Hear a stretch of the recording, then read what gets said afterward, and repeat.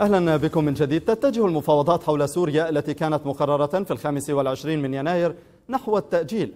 فقد كشفت الأمم المتحدة أنها لن توجه دعوات لحضور المباحثات بين النظام السوري والمعارضة لحين اتفاق القوى الكبرى التي ترعى عملية السلام على ممثلي الفصائل المعارضة المقرر حضورهم.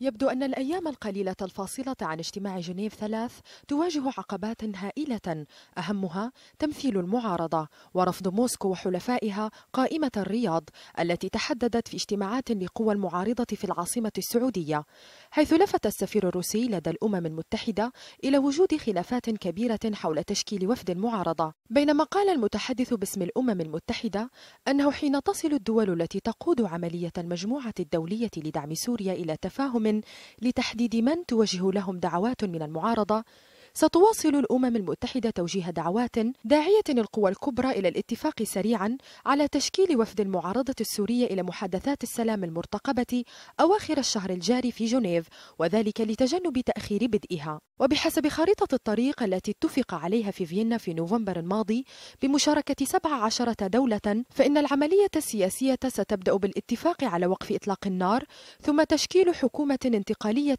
تليها انتخابات رئاسية. ومن العقبات الأخرى التي تواجه جنيف ثلاث هي أن أكثر الغارات الروسية هي ضد أهداف تابعة للمعارضة السورية ولا تستهدف داعش. وبحسب سفير بريطانيا في الأمم المتحدة فإن الغارات الروسية تضعف محادثات السلام وتقوي النظام لافتا إلى أن داعش يستغل الفوضى في سوريا. وكان وسيط الأمم المتحدة ستيفان دي مستورا قد قدم عرضا للاستعدادات لمحادثات جنيف لأعضاء مجلس الأمن معربا عن أمله في أن يتخذ طرفان النزاع إجراءات حسن نية ووضع حد لتجويع وقصف السوريين مؤكدا أن بشار الأسد مسؤول عن قتل آلاف السوريين وتشريد الملايين من سوريا. إذ تهدف هذه التحركات الدولية على حد تعبير ديمستورا إلى تحرير سوريا من جميع القوى الأجنبية المنتشرة على أراضيها بما في ذلك الروسية منها والإيرانية.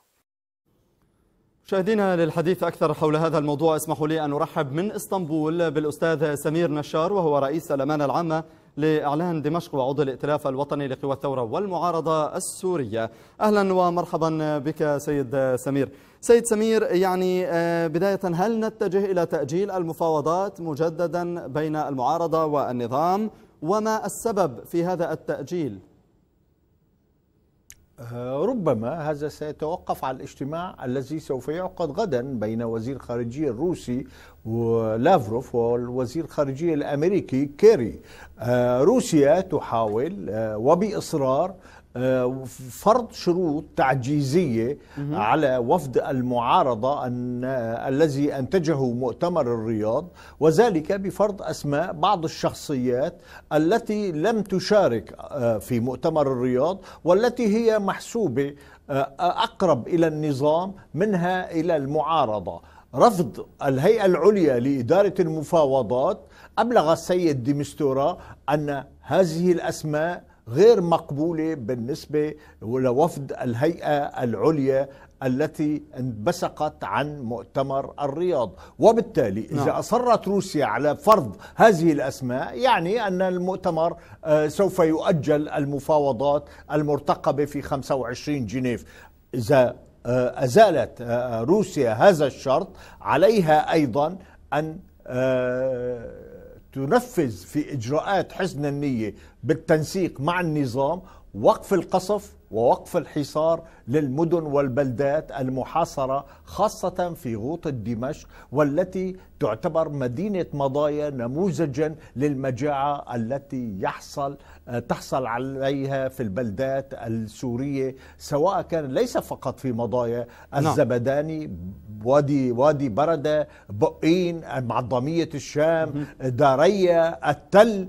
كل هذه البلدات محاصرة حصار لا أخلاقي لا إنساني من قبل النظام السوري يعتمد سياسة التجويع مقابل تركيع السكان الذين خرجوا في الثورة ومطالبين بالحرية وبالكرامة نعم. وبإسقاط النظام طيب السوري. إلى أي درجة هذا ما يحصل على الأرض آه، دوما آه، خصوصا من سياسة التجويع والقصف الروسي المستمر والدائم على آه، المدن السورية إلى أي درجة يؤخر أي مفاوضات آه، من المزمع أن تعقد؟ هذه الرسالة تبلغها السيد ديمستورا الوسيط الدولي من السيد الدكتور رياض حجاب في الاجتماع الذي جرى منذ أسبوع آه، في مدينة الرياض بحضور أعضاء الهيئة العليا لإدارة المفاوضات. طلب السيد آه، آه، الدكتور رياض حجاب من السيد ديمستورا وبحضور جميع أعضاء هيئة العليا لإدارة المفاوضات وقف القصف كما نصت المادة 12 و 13 من القرار 2254 وهو قرار مجلس الأمن الذي بموجبه يلتئم آه، تلتئم مفاوضات جنيف نعم. بوقف الحصار تنفيذا آه، كإجراء حسن النية تنفيذا لهذا القرار كما نص عليها القرار الدولي. وهذه ليست موضوع مفاوضات. لا يمكن للسوريين نعم. وللمعارضة أن تذهب إلى مفاوضات جنيف للمفاوضات على إدخال حليب الأطفال أو إدخال المواد الغذائية للسكان السوريين الذين يمارس عليهم النظام السوري وميليشيات حزب الله عمليات تجويع وحصار ليس له نعم. مثيل في القرن الحادي والعشرين هذه إجراءات يجب أن يقوم بها النظام السوري وميليشيات حزب الله وبالتالي هذه الرسالة مبلغة إلى السيد ديمستورا الذي طيب. عليه أن يبلغها للروس وللقوى الدولية الأخرى سيد سمير هناك من يقول إن الأسد يحاول ب آه، آه، دائما إفشال هذه المفاوضات أن تتم في وقتها كسب المزيد من الوقت لكسب المزيد من المساحات على الأرض. تكثيف الضربات وكسب مساحات على الأرض لكي يشكل ورقة ضغط على الثوار في هذه ولكي يكون هناك ورقة ضغط بيده على الثوار في هذه المفاوضات وما حصل في مضايا أيضا آه، كان في هذا السياق. ما تعليقك على هذا القول؟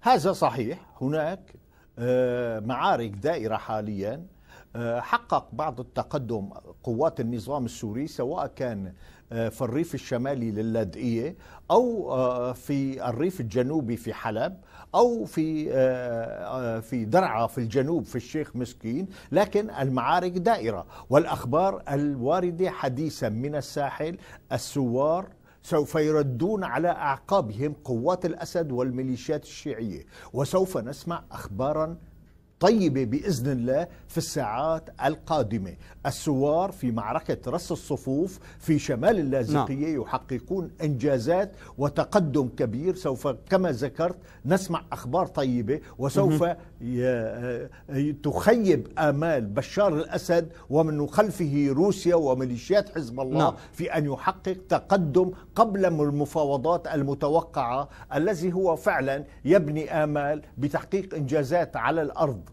إنجازات عسكرية في نعم. آه، لأضعاف موقف المعارضة آه، في المحادثات المتوقعة إذا حصل شكرا جزيلا لك سيد سمير المحادثات. شكرا جزيلا لك كنت معنا من إسطنبول عبر الأقمار الصناعية الأستاذ سمير نشار عضو الائتلاف السوري شكرا لك